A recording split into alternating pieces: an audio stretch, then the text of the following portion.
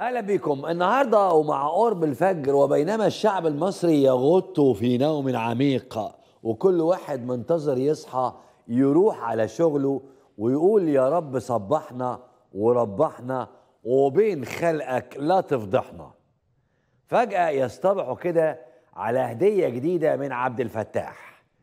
عبد الفتاح صبح عليهم بدري صبح عليهم بخبر كئيب. صبح عليهم بخبر هيتحكم فيهم في كل شيء. رفع سعر البنزين. زي ما أعلنت وزارة البترول في بيان على صفحتها في نص الليل. والناس نايمة. أهو الخبر أهو. وزارة البترول. في ظل تذبذب أسعار خام برنت وسعر صرف الجنيه مقابل الدولار عشان السببين دول بس والله. قررت لجنة التسعير التلقائي للمنتجات البترولية التوصية بتعديل الأسعار الحالية السائدة.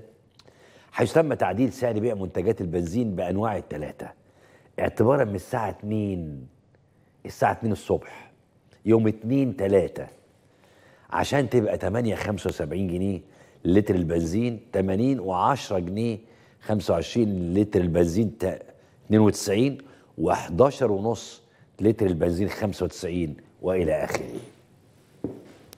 وعشان القرار جاء في وقت متأخر الساعة 2 الصبح فكتير من المصريين اللي عندهم عربيات جريوا على محطات البنزين عشان يمكن يلحقوا أي كوباية بنزين بالسعر القديم. زي ما نشر بعض المواطنين على صفحتهم على التيك توك الزحام ده. الدنيا يا جدعان في البنزينات زحمة موت.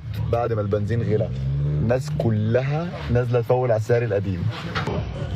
طيب ده الشارع الساعة 2 بالليل. وكل الناس دي قررت إن هي تفول وطابور كده ده الطابور كده خف. بس هم قرروا إن هم يعني هيستثمروا خلاص وهيوفروا تقريبا 50 60 جنيه في التفويله عشان هم بيحرصوا على كل قرش. وخلاص دي آخر مرة يحطوا فيها بنزين وبعد كده مش هيفولوا العربيات تاني هيحطوا بقى فيها مية. هم قرروا إن هم يلحقوا قبل الزيادة إحساس إنك أنت داخل تفول تفويلة العمر كله ده اللي كتبه اللاعب السابق أحمد عيد عبد الملك. كتب على حسابه الرسمي البوست ده. بيقول قاعد في البنزينة بشرب قهوة على الصبح وراكن العربية وعايز آخد قرار إني أدخل أفول العربية. وماسك الآلة الحاسبة وقاعد متردد. تحس إنك داخل تفول تفويلة العمر. والله ربنا يكون في عون الناس المحتاجة بجد. أي حد ربنا مديله دلوقتي بقى تعبان. حقيقي. تخيل معهوش ربنا يسترها على الجميع مع دخول الشهر الكريم. ده ده لاعب ونجم. وربنا يديله يعني وقاعد ضيف دائم عند محمد شبانة. يعني بيتقاضى أجر عن وجوده في الإعلام. وزي ما هو قال ربنا يديله يعني إنه هو معاه وقاعد يحسبها فبالك باللي معهوش. صفحة وزارة البترول حصل عليها هجوم شرس من المصريين اللي كان أغلب تعليقاتهم حسبنا الله ونعم الوكيل فيكم. الناس هتعمل إيه؟ هتكفي احتياجاتها إزاي بعد الزيادة دي؟ والناس هتاكل بعضها بسببكم. ده اللي كتبه جمال أو حساب باسم جمال. جمال قال والله حرام عليكم اللي بتعملوه فينا. المفروض الزيادة على بنزين 95 و80 بس. دخل أكتر من 60% دخل أكتر من 60% من المواطنين تقريبا يوازي 60% من احتياجاته الشهرية. أكل وفواتير شهرية وعلاج وانتقالات. طب يجيب من فين 40% عشان يكفي أسرته باقي الشهر؟ والله الناس واقفة على تكة وتطلع تاكل بعضها بسببكم. كل ده بيحصل قبل الشهر رمضان والناس كلها مش هتلاقي الفطار. ده اللي بيقول كده حساب باسم أشرف. قال كان الله في عون الناس. يعني في عون هذا الشعب. زيادة أخرى في أسعار البنزين تزامنا مع موجة الغلاء والاحتكار والإفقار. يتبعها التعويم الرابع للجنيه وخضوعه وإذلاله أمام الدولار. كل هذا قبل شهر رمضان والناس شكلها مش هتلاقي الفطار. لا إله إلا أنت سبحانك إنا كنا من الظالمين. ده شريف. قيادات الدولة ما عندهمش دم ولا إحساس ومرتبات الناس هتكفي إيه؟ بعد ما يزودوا البنزين. ده فوزي اللي بيقول. بيقول لا نملك. فوزي بيقول لا نملك إلا أن نقول حسبنا الله ونعم الوكيل في قيادات الدولة عديم الدم. هو إحنا مرتباتنا قد إيه؟ عشان تزود سعر اي سلعة مش البنزين بس. ادونا مرتبات أوروبا والخليج واعملوا اللي أنتوا عايزينه.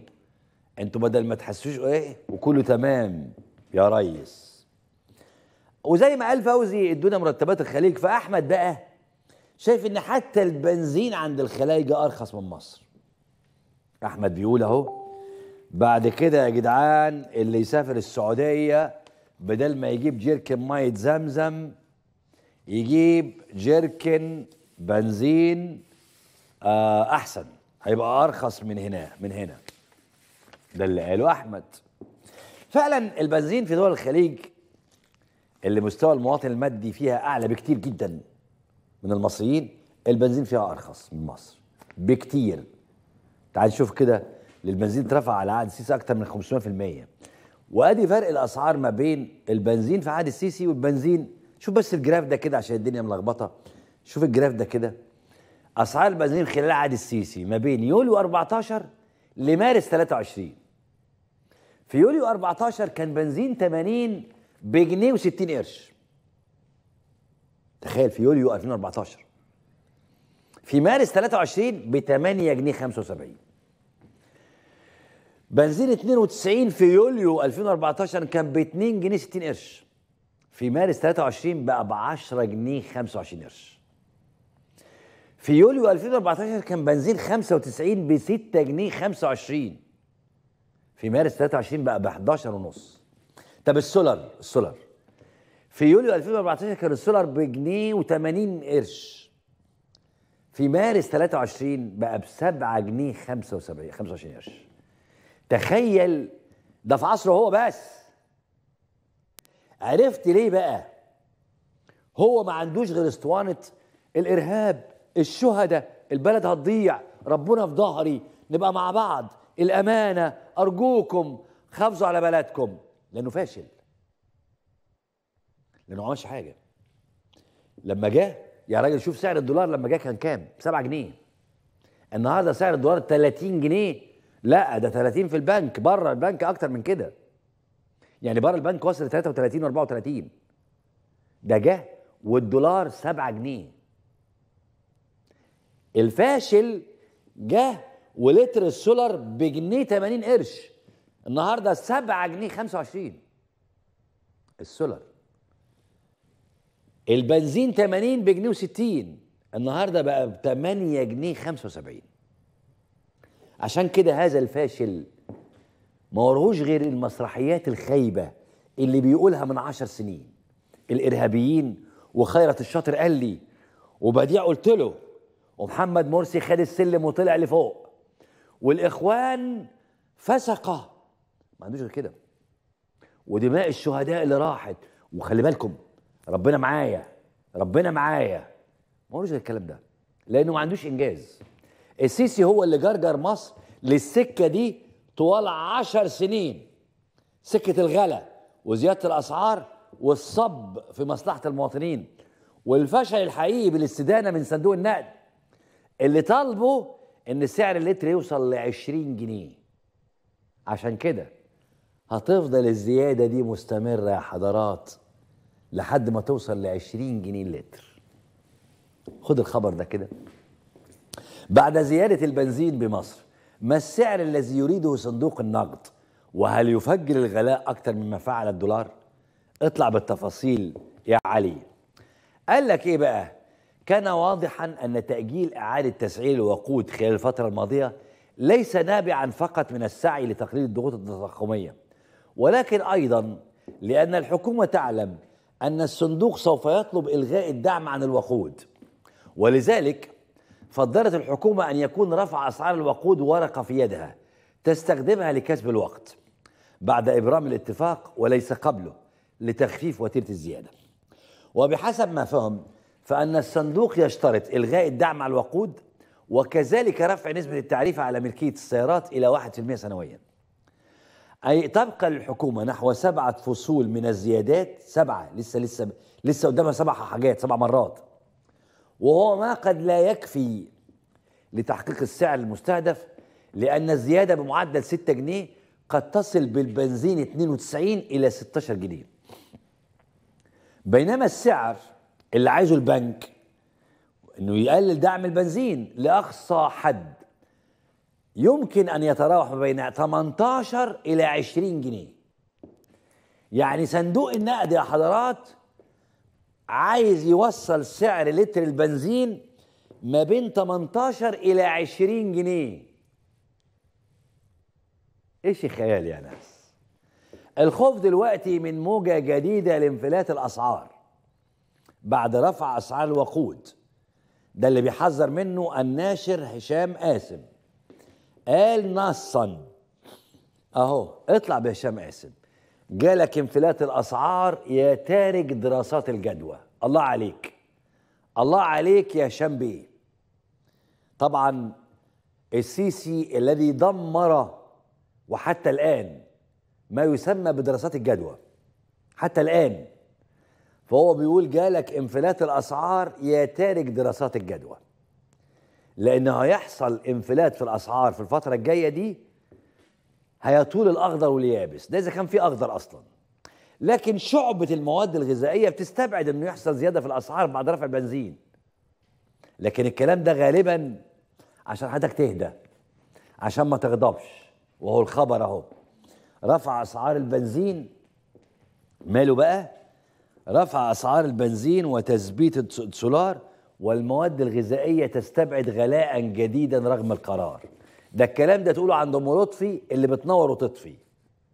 لأن فعلا بعد ما ترفع أسعار البنزين كل شيء هيرفع لأن ده النقل. هو البنزين هيترفع والسولار وبنزين 80 والنقلة مش هتترفع. يعني المشوار ال 100 كيلو اللي كنت بتطلع من اليوب مثلا تودي نقلة في المنيب مثلا بنفس سعرها دلوقتي بعد ما زاد لتر البنزين تبقى مجنون. رسمي. وإنما يتحط الزيادة على النقلة. طب اتحطت الزيادة على النقلة إيه بقى الظابط والرابط؟ ما حصلش ظابط كل واحد بمزاجه بقى. وهيحصل اللي قال عليه هشام قاسم انفلات. كل واحد بمزاجه بقى. كل واحد واللي يقدر عليه. كل واحد يعيش ويكسب. فرصة اللجان الإلكترونية بتاعت السيسي اللي حب تطبل له شوية وتطلعه بمظهر الرئيس الحنين مال الهوى اللي خايف على الشعب وما رضيش يغلي سعر السولار وطلعت هاشتاج اسمه السيسي يرفض أسعار السولار. فاكرين الهاشتاج ده؟ أو طلع هاشتاج كده. كتب الصحفي عبد الواحد عاشور مدير التحرير السابق قال حسنا فعلت لجنة التسعير بتثبيت سعر السولار حتى لا يكون مبرر جديد للتجار والمزارعين لرفع الأسعار بحجة ارتفاع أسعار النقل. أما بالنسبة للبقية فقد كان متوقعا رفعها منذ بداية الحرب الروسية لكنه تأجل عدة مرات رغم أنه يكبد الخزانة العامة مليارات يوميا. السيسي يرفض أسعار السولار. طبعا ده مطبلاتي. ده ده عايز يقول يعني الراجل استحمل كتير والله. لكن يا ترى عمرو أديب وأحمد موسى ومطبلاتيس السيسي هيجي لهم عين يطلعوا يطلعوا يبرروا رفع سعر البنزين يا ريت. يا ريت بلاش يستفزوا الناس. زي ما بيقول شمس أو حساب باسم شمس.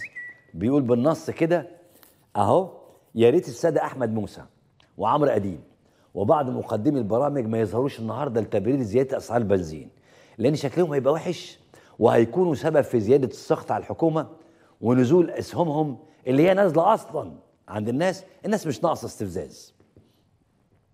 في اقتراح إنهم يقولوا للناس آه اقتراح السيسي لما تلاقي تاجر مغلي السعر ما تشتروش. طيب نعمل كده في البنزين برضو ده كان اقتراح من هشام أو حساب باسم هشام. اقترح وقال لك طب يا جماعة معلش يعني آه لما تروح محطة بنزين وتلاقي غالي سيبه وامشي. وروح محطة تانية زيادة البنزين بسبع جشع التجار. ماري جرجس كان لها اقتراح تاني خالص. خلينا نشوف اقتراح حساب اسم ماري جرجس.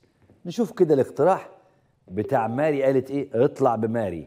بتقول طب هات لنا بنزين برازيلي يا معلم وخلي عمرو أديب يطلع يشربه على الهوا. والله يا مالي يا ماري أنت رائعة. هو جايب الصورة دي بتاع الفيلم بتاع عادل إمام وقال لك طب هات لنا بنزين برازيلي يا معلم وخلي عادل آه عمرو أديب يطلع يشربه على الهوا قدام الناس. تحية. للإفيه اللي ختمنا بيه بتاع ماري جرجس. لكن عشان بس أعرفك آخر حاجة الحد الأدنى للأجور اللي هو طلع يجبي عليك بيها. بلومبرج نشرت كده كم يبلغ الحد الأدنى للأجور العاملين بالدولة في مصر. وراحت نشرة القصة دي كلها على بعض. آخر حاجة أهو 3000 و500 جنيه اللي هي دي. اللي هي آخر حاجة النهارده. كم يبلغ بالجنيه بقى حد أدنى بالدولار؟ يبلغ 114 دولار. آه فوقيه على طول. ال 3500 جنيه اللي هو النهارده زودكم زود المصريين تساوي 114 دولار. ال 2500 ال 2700 كانوا يساوي تقريبا 124 دولار. أهو. قدام حضرتك. تخيل بقى إن في يناير 22 لحد مارس اللي هو خلى 3500 جنيه تساوي 114 ملاحظة الحد الأدنى لأجور العاملين بالدولة تقرر زيادته إلى 3500 جنيه ابتداء من إبريل 2023 تم احتساب سعر الصرف الزيادة الأخيرة ب 30.7 جنيه للدولار. يعني يساوي دلوقتي 114 دولار. لا شيء. يعني مرتبك قلت قيمته مش زادت. نروح فاصل ونلتقي بالدكتور جمال عبد الستار.